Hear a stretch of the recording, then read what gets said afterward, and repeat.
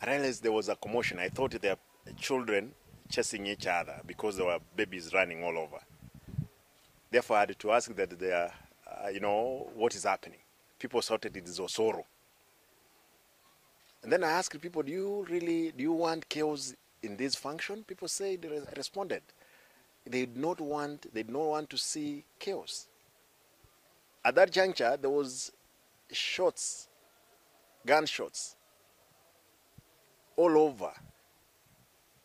I'm told a number of those shots were actually the guy who has been hit on his, um, I think, left ear.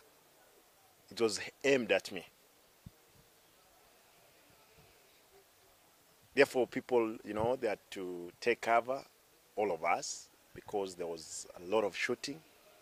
Uh, I'm told there are many people who have been maimed. There are people in hospital as I'm talking. The motive behind the shooting, because Osoro Silvanus had not even come into the meeting where we were. He just arrived. I'm told he pulled out the gun, started shooting.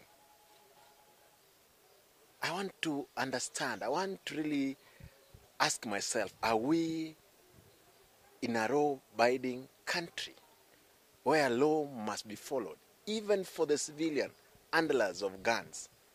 How can it happen? How is it possible that a member of parliament, you can alight from your vehicle with goons, with, and again, all licensed civilians. They don't carry around a G3, I mean the AK-47, which they were carrying.